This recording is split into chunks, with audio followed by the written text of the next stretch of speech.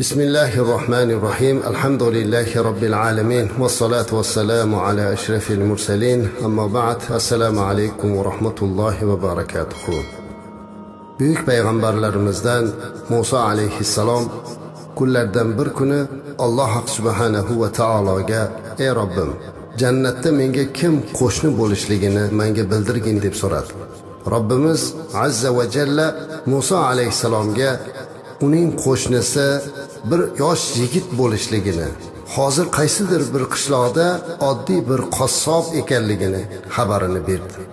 Tabiiyki azizlar muso alayhissalom buyuk bir payg'ambar tavrot kitobi mana shu zotga nozil bo'lgan. Mana shunday ulug' bir maqomdagi payg'ambar bo'lgan ulug' zot jannatda o'ziga kim qo'shni bo'lishligini so'rayaptiyu va qo'shni bo'ladigan odam hozir tirik ekanligini bildi. Albatta buni ko'rgisi keladilarda uni borib ko'ray qaysi amali bilan u jannatga tushadiyu va qaysi amali uni payg'ambardek ulug' bir zotga qo'shni qiladi deb o'ylab qoldilar. Izlab borsalar haqiqatda bir qishloqda u yigit qassobchilik qilar ekan.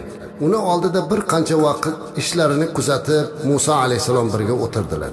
Go'shtlarini sotib bo'lgandan keyin ozginagina go'shtdan o'ziga nasiba oldida muso alayhissalomni oldilariga chiqdi. Muso alayhissalom orqasidan poylab borib uyiga yetib borganda u yigitdan iltimos qildiki uyingizda olloh uchun mehmon bo'lsam dedi. Yigit marhabo xush kelibsiz dedilar. Muso alayhissalom o'zlarini payg'ambar ekanliklarini aytmadilar. Muso alayhissalomni o'tkazib yonlariga dasturxonni solib taom pishirib kelgandan keyin qo'llariga idishlarga solingan taomni olib keldida uyni bir burchagida yuqoriga ilib qo'yilgan bir savatchani oldi. Muso alayhissalom qarab turibdi bir uzoqdan nimaligini ko'rmay hayron bo'ldilar. U savatchani ichidan kiyimlarni oldi tozaladi so'ng taomlardan olib o'zi og'zida solib chaynab u yerdagi zotga ovqat yegizdi.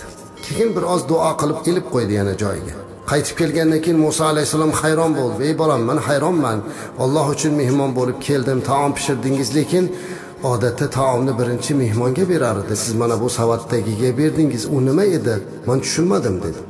Shunda u yigit ey ollohning mehmoni dedi. Man sizni ranjitishlik niyatida emasman. Haqiqatda taomni birinchi sizga bermoqligim lozim edi ammo tarki odat bo'ladi. Bu savatchada u nima edi? Deyayotganingiz bu mani onam bo'ladilar. Onamni yoshlari juda katta bo'lib kichkinagina bo'lib qolganlar. Mana shu savatga solib ehtiyot qilaman. Xizmatkor olay desam mablag'im yetmaydi. Onamni kelib o'zim tozalayman kiyimlarini mana ko'rdingiz qarayman. Undan keyin o'sha taomda onamga xuddi man yoshligimda tishlarim yo'qlik mahalda qanday chaynab yegizgan bo'lsalar mana shunday yumshatib onamga ovqat yegizaman. To onamga ovqat yegizib bo'lmagunimga qadar man ovqat yeyolmayman dedi muso alayhissalom hayratlanib ketdilar. Orqasidan duo qildingiz bolam. Nima deb duo qildingiz dedi. Shunda u yigit aytdiki man duo qilmayman omin deb turaman. Duoni onam qiladilar dedi. Nima deb duo qildi? dedilar muso alayhissalom. Har safar men onamga ovqat yegizib onam parvarish qilganimdan keyin onam qo'llarini ochib bolam men sendan roziman. Ilohim jannatga kirgin. Jannatda muso payg'ambarga qo'shni bo'lgin deb duo qiladi dedilar. Bu gapni eshitar ekan muso alayhissalomni ko'zlariga yosh keldi. Onangni duosi mustajab bo'libdi dedilar. Men o'sha muso payg'ambar bo'laman. Sen menga jannatda qo'shni bo'lishingni olloh menga bildirdi dedilar.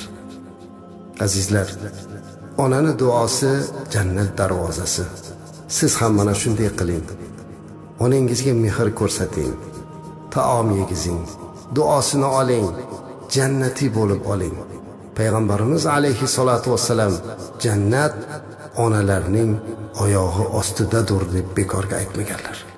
Alloh hamma onasi borlarni mana shunday baxt bilan o'zi mukofotlagan bo'lsin.